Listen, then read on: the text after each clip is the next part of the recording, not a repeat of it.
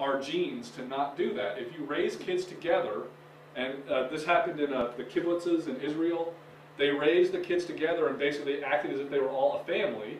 The idea they thought was if you raise all these kids together, they get to know each other, and they will then marry within that and keep the group cohesive. It turns out they almost never would marry one another because they were they if you're raised with individuals who are children at your same age, that's usually your relatives. And so you don't want to mate with them because that would be incest and there's all sorts of genetic reasons why incest is bad. So it's not even though they weren't related, even though they knew they weren't related, there still was this deep aversion to that process based on genetic cues that are built into us to all of us, animals all animals and humans to avoid that. An interesting question that comes up, this came up in my evolution class when I was an undergrad. Uh, the professor talked about a specific example of a male fish that mates where the male basically attaches to the female and gets absorbed into her body and basically becomes a little tiny pimple that produces sperm every so often. Because in that species, the males and the females almost never come into contact. So if you ever come into contact, it's better to become an appendage of the female than to risk not mating with her and never finding another female again. And his quote was, males aren't just superfluous, they're silly. So why do we have them? It's not necessary. Plenty of organisms, including some animals, can reproduce without sex. Why is it that we have a 50-50 ratio of males? Because it doesn't make any sense.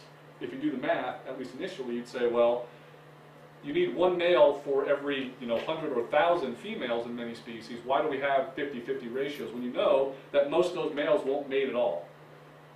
What seems to be happening there is that cost-benefit analysis, that yes, your, your male offspring, most of them won't mate, but if one of them mates, he's probably going to mate with a lot of different females, and therefore his success will be quite high.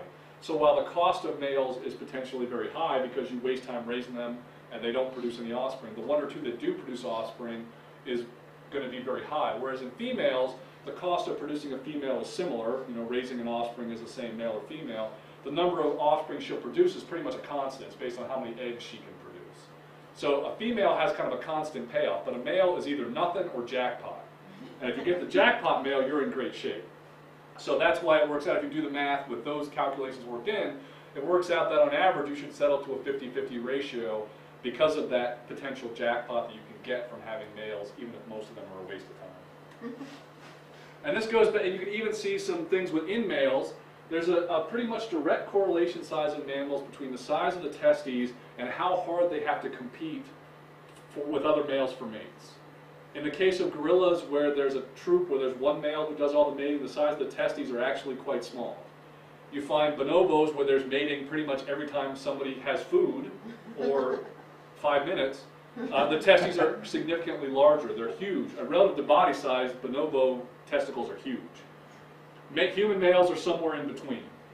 So this suggests, again, that in our case, there has been some extra pair activity that is selected for males that have testes that are large enough to produce enough sperm, but not so large that they drain energy because sperm are actually, well, we don't think of sperm as being expensive. They're actually fairly expensive to produce and maintain. And so you sort of settle on a size of testis that gives you enough sperm to compete, but not so much that you're wasting energy that you're not going to be able to use. And infanticide, a? I was just gonna say, I, I read an article that was kind of along those same lines too, and without trying to get too sexually graphic here, it was talking about, um, the shape of the male penis and be, because, and the, and the fact that we have a thrusting action when we mate and stuff, which is really no evolutionary benefit for that. A lot, of- uh, apparently a lot of animals don't have that, they just ejaculate the sperm and that's it. But the thrusting action, along with the shape of the head of the penis, is, causes, um, a male to actually be able to remove, um, sperm from another male donor. Yes. So, Yeah, and you know, some, some males have really complicated, you know, some species of the males have these really complicated grooves and cups that help create like a plunger action Right. to help draw out any sperm. But yeah, in the case of the human, they say even in our case that it does have the shape that will help draw out any sperm that might have been deposited by a previous mate. Yeah. So even the shape, and there's also evidence that shows that the female is better at absorbing the sperm from a male who is not her mate. So women who are cheating actually absorb the sperm better into their reproductive tract in terms of to the point where it could cause fertilization. So there's also things going on, again, with female choice and male choice, that the female's internal activity, even though it's not conscious, is definitely set up to sort of deal with those, this those conflict. two things, like testis size and the shape of the penis in the male in humans, would kind of imply to me that, uh, we were arguing about this at our discussion in Kathy, and I, that we're not monogamous creatures.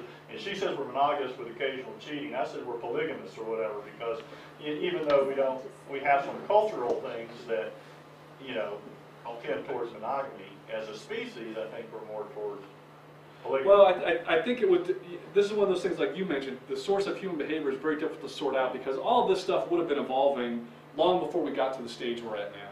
And so what the evolutionary pressures were on human populations, say, 100,000 years ago when we were first really becoming Homo sapiens, it's hard to say. I wouldn't be surprised if we had something similar to what chimpanzees have, where we had a troop with maybe a few males and a few females, and there was definitely mating beyond just a single paired individual. Any species where you find males and females in that close proximity, there's generally going to be at least some attempt to mate outside your pairing. But we do tend to be socially monogamous in almost all human societies, which implies that at least, you know, you have an identified mate, and there may be some, you know, extra activity going on. But where that first came from is not clear. Ancestrally speaking, we probably were more of a polygynous or polyamorous or uh, polyandrous, depending on whether it was males or females or both, that kind of had say. But um, yeah, there's definitely some evidence that that may have been ancestrally our trait. How that has been modified over time, it's a lot more difficult to say what factors have affected it. And this also goes, this infanticide idea kind of ties into that. It ties into the ideas of jealousy, that you again don't want to raise kids that aren't your own. And again, widespread through the animal kingdom. When a male takes over, like a lion pride, when the male takes over, the first thing he tries to do is kill any cubs that are there. Uh, same thing in many many primates. The male, because they're not his, and he knows they're not. Well, knows they're not his. And so, if you kill them off, you don't waste time raising them. And the females are more likely to go into reproductive receptivity, where you can then produce offspring that are yours. And if you're a male lion, you've maybe got a couple of years to run that pride. So that can be a big deal in terms of how fit you are. So it's not uncommon to find this. And we find the same thing in human populations that uh, abuse of children tends to more often come from the individual who's not related. You know, the, the boyfriend or the girlfriend of the person who is the actual parent. You know, the evil stepmother from Cinderella and all the other fairy tales, that's the same basic idea that I don't want to waste time devoting energy to you. You're not my kid. I want to get rid of you so that my kids can be the ones that get taken care of. So this is, you know, an ongoing, you know, the whole uh, Isaac and Ishmael story that supposedly separated Islam and Judaism was the same idea that, you know, Ishmael was born from uh, the maid and Isaac was his son with his wife. So his wife said, get rid of Ishmael. That's not my kid. I don't want him. And so they were banished and now we've got 6,000 years of them hating each other over that sort of thing. So, true or not, it's the same basic idea. And this even, this also goes back to um, organisms that will abandon offspring who are not going to survive.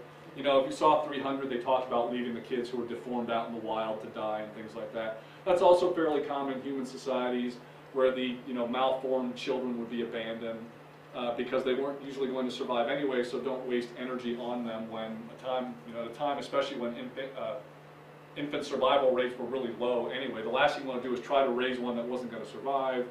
Many animals do the same thing, kicking eggs out of the nest, abandoning their, uh, their young when they can't raise them properly because they don't have enough milk in the case of mammals, is very common behavior in the animal kingdom. So that nothing that goes on in any of those sorts of things is any different.